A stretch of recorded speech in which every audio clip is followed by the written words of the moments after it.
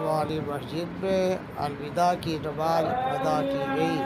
सिगवा news reporter Tipu Sultan की report.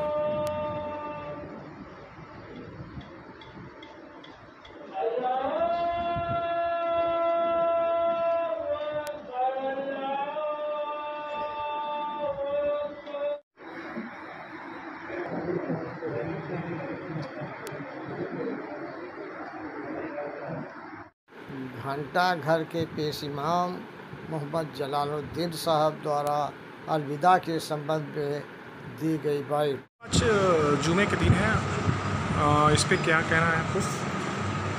ये अचानक रमज़ान मुबारक का ये आखिरी जुमा है जिसको अलविदा कहते हैं। और ये रमज़ान का महीना बड़ी बरकत वाला महीना होता है इसलिए रमज़ान के आखिरी जुमा को अदा करने के लिए आप जी जहाँ से लोग इंतज़ार करते हैं और दिल खोल कर अदा करते हैं।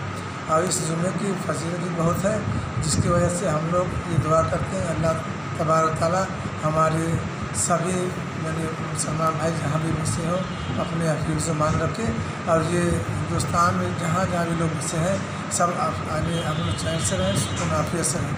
और ये हमेशा खुशी खुशी ज़िंदगी गुजारें।